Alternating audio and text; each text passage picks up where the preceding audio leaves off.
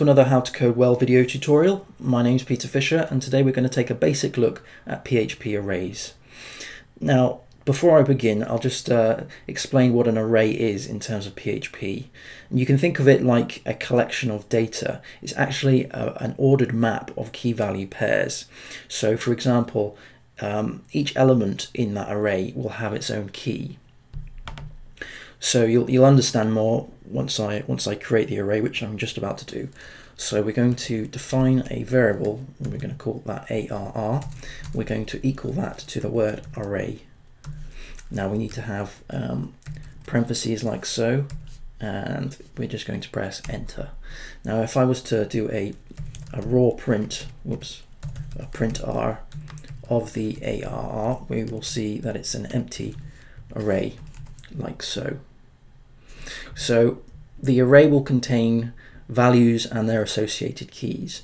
So in order to fill this up, we would do ARR is equal to the array again, and we would create uh, a key, and we're just going to do key one, and we're going to equal that, or assign that, sorry, to value one, and then to add another element to this array, we would do key two, and we would assign that to the of the value 2 and then we would close the parentheses um, and then run that and then if we did a raw print of the ARR variable we will see the contents of the array and that's populated like so.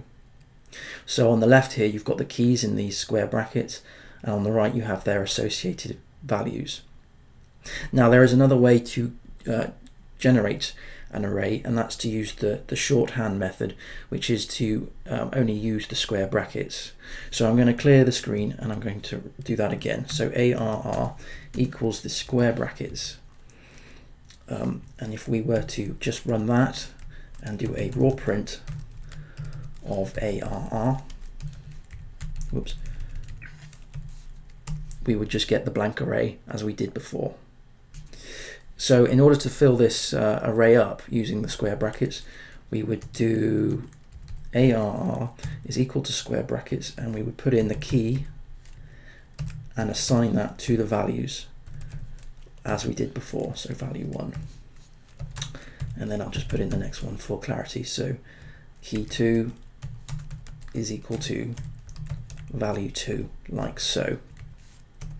And then if we did a raw print of ARR, we will get the values as we did before. Now we can actually add a uh, add elements to an array without specifying their keys, and in doing so, we we automatically generate the um, a numeric key for each value. So to do that, we would do ARR again.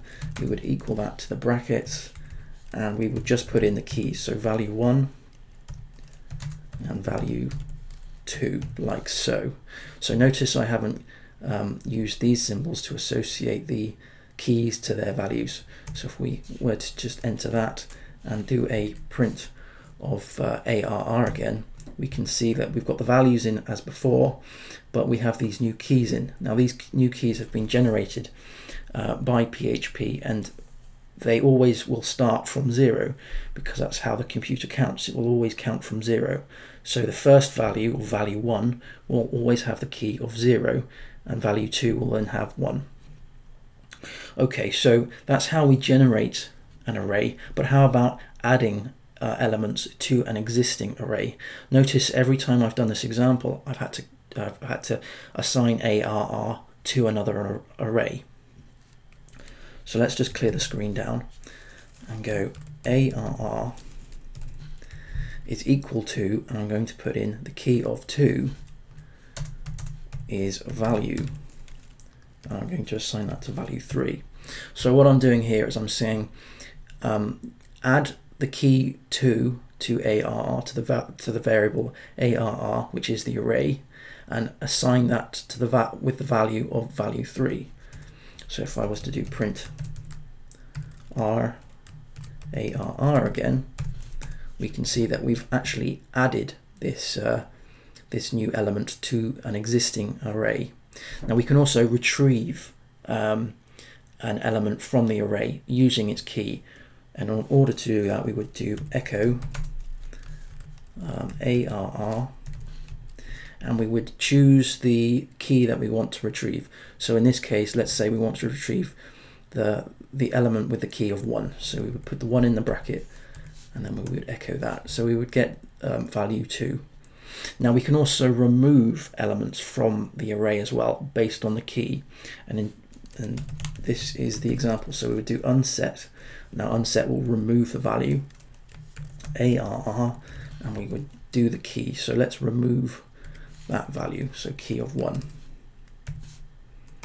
So that's unset. So if we did print r, we could see that we've actually removed that value, that key. Now notice that the the uh, the keys haven't reordered. It's zero and then two. Okay, so that's that's quite crucial. So uh, you can reindex the the arrays, and to do that, you would use a function called array underscore values, and that would reindex the arrays. But um, we by, by default, it doesn't do that. Okay, so that's a basic uh, intro into PHP arrays. Thank you for watching. Please click the like button if you found it useful and make sure to subscribe to get the next tutorial. If you have any comments, questions or queries, then please leave them in the comments section below. Alternatively, you can tweet them to my Twitter handle, which is PFWD. Thanks again, and I'll see you soon.